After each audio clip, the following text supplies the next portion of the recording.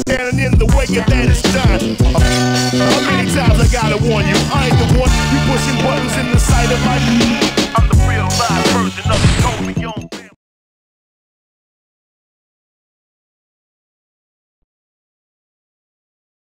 That's right, Def Jam headquarters, where the big rollers roll and where the hardest prove themselves.